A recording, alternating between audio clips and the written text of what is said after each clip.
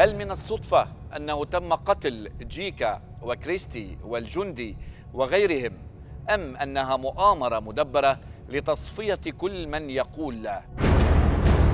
لا يمكن أن يكون ذلك بمحض الصدفة. طول الوقت أيدي الداخلية آه، آه، مش نظيفة. وكأنه في اتهام باطني للداخلية أنها هي من يقتل الشهداء ده حقيقي. ضبطت ملابس أشبه بملابس الشرطة جاية مستوردة من بره واستوردها آه، آه، حد من الإخوان من قيادات الإخوان.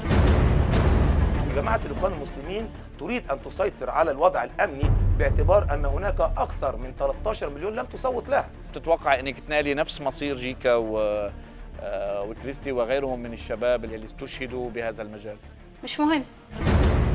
والحسيني أبو ضيف برضو كان بيهاجم الإخوان واتقتل.